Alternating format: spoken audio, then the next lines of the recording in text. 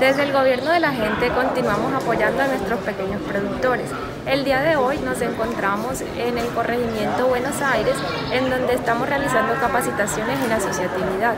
Desde la oficina hemos podido impulsar la conformación de una asociación de mujeres y queremos también impulsar la reorganización de diferentes asociaciones que por temas de pandemia se han desintegrado.